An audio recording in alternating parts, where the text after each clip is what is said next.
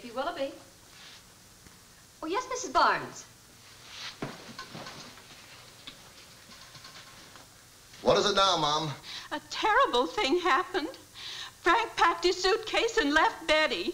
Uh, don't worry, Mom. He's done it before. I'll find your son-in-law and straighten this whole thing out. Now, what hotel did he go to? He didn't go to any hotel. He moved in with us.